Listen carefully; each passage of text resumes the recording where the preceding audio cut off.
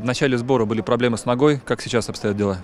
Э, Ну, в общем, залечил ногу. Э, Сейчас уже практически не беспокоит, но в клубе залечу до конца.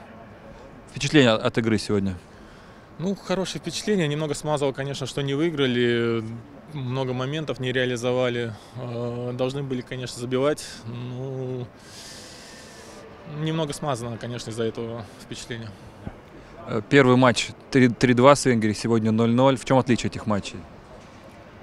А, В том, что не реализовали свои моменты и более строго сыграли сзади. Э, Если в Венгрии там немного позволяли сзади э, создавать им, то сегодня вроде бы строго ничего не дали создать. И, ну, к сожалению, сегодня не получилось забить.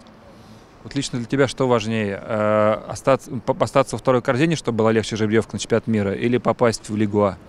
Ну, конечно, все хотят попасть в Лигу А, чтобы э, играть с топовыми сборными и выходить на более высокий, высокий уровень. Наконец-то болельщики пришли на стадион. Как ощущения? Классная, классная атмосфера. Прям э, болельщики гнали сборную к победе. Но вот, к сожалению, не удалось их порадовать. Но я думаю, что претензий никто предъявить не может, потому что все старались, били, бились, и вот чуть-чуть не повезло.